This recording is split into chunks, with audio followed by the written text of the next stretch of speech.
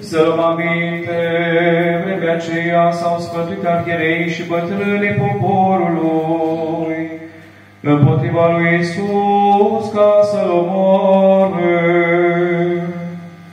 Și l-a pus la pila zicând, răstignește, răstignește.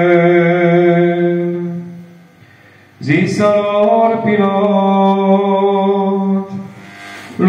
luați-l voi și răstigniți-l, că eu nu găsesc în el nicio vină.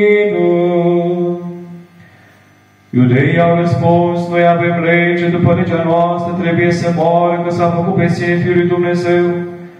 Deci când a auzit Pilat acest cuvânt, mai mult s-a temut. Și a intrat iarăși în pretoriu și i-a zis lui Iisus, De unde ești tu? Iar Iisus nu i-a dat niciun răspuns. Deci Pilat i-a zis, mie nu vorbești, oare nu știi că am putere să te eliberezi și puterea am să te răstignezi? Iisus a răspuns, n-ai avea nicio putere asupra mea, dacă nu ți-ar fi fost dat ție de sus. De aceea cel ce m-a dat ție mai mare păcatare. Deci Pilat, auzind cuvintele acestea, l-a dus afară pe Iisus și a așezut pe scaunul de judecată. În locul lumii pardosit cu pietre, iar evreiește Gabata și era vinerea Paștilor, cam la ceasul al șaselea. Iar Pilat a zis iudeilor, iată împăratul vostru.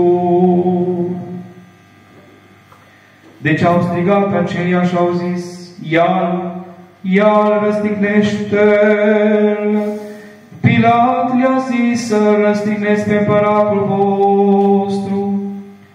Arhierii au zis, n-avem împărat, decât numai pe cezarul. Atunci le-a dat lor ca să răstignească. Și i-au luat pe Iisus și l-au dus ca să răstignească. Și ducându-și crucea, a ieșit de acolo, la locul care se cheamă al căpățânii, care evreiește se zice Golgota, unde l-au răstignit. Și împreună cu el au răstit încă alți doi, de o parte și de alta, iar în mijloc pe Iisus. Iar Pilat a scris o tăbliță și a pus-o deasupra crucii și era scris Iisus Nazarinean, împăratul iudeilor. Deci mulți dintre iudei au citit această tăbliță, că locul unde a fost răstignit Iisus era aproape de cetate. Și era scris evreiește, latinește și grecește și stăteau lângă crucea lui Iisus mama sa. Și sora mamei sale, Maria lui Cleopa și Maria Magdalena. Deci Iisus văzând pe mama sa și pe ucenicul pe care îl iubea, stând alături a zis, mamei sale, Femeie, iată fiul tău. Apoi a zis ucenicului, iată mama ta. Și din ceasul acela, ucenicul a luat-o la sine.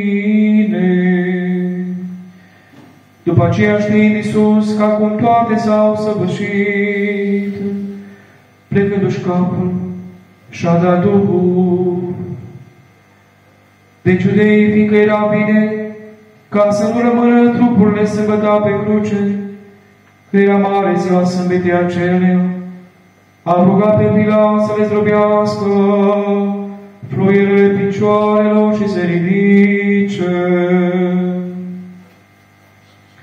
Deci au venit ostașii și au zdrobit fluirile picioarelor celui din tâi și al celui de-al doilea, ce erau răstigniți împreună cu Isus.